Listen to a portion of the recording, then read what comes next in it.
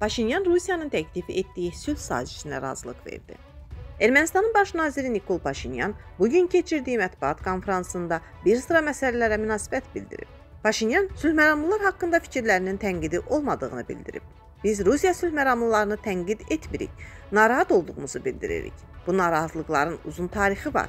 Mən bu məsələləri Rusiya Federasiyasının sülhməramlı kontingentinin komandiri ilə deyil, onun ali baş komandanı ilə müzakirə edirəm və bu düzgün formatdır deyə o qeyd edib. Paşinyan hansı halda Azərbaycanla sülh müqaviləsinin imzalanacağını da açıqlayıb. Sənəd Ermənistanın maraqlarına cavab verməsə, ondan imtina ediləcək. Razılaşmanın hazır olması barədə mütləq məlumat verəcəyimə əmin edirəm. Amma hələlik heç bir xəbər yoxdur. İrəvan sazişin mətni ilə bağlı öz şərhlərini Bakıya göndərib, lakin hələ cavab almayıb. Ermənistan müqavilə bağlamağa hazırdır və əlindən gələni edəcək. Sənədin imzalanması yaxşı xəbər olacaq.